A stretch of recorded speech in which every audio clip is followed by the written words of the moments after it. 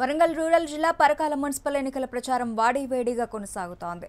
ఈ ఎన్నికల్లో ఛాలెంజ్గా తీసుకున్న స్థానిక ఎమ్మెల్యే చెల్లా ధర్మారెడ్డి పరకాల్లో ఇరవై రెండు వార్డులకు గాను పదకొండు వార్డులు టీఆర్ఎస్ అభ్యర్థులు ఏకగ్రీవం కాగా మిగతా పదకొండు వార్డులు కూడా గెలిపించి పరకాల్లో గులాబీ జెండా ఎగరవేయాలని కసరత్తు చేస్తున్నారు.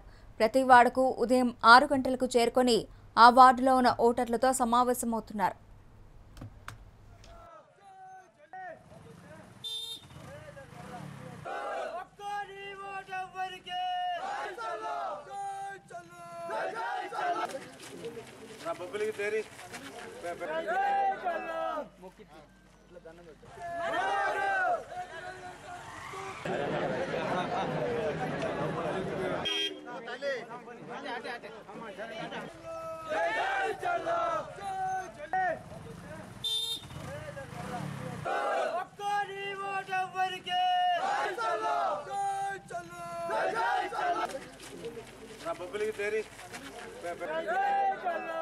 Mo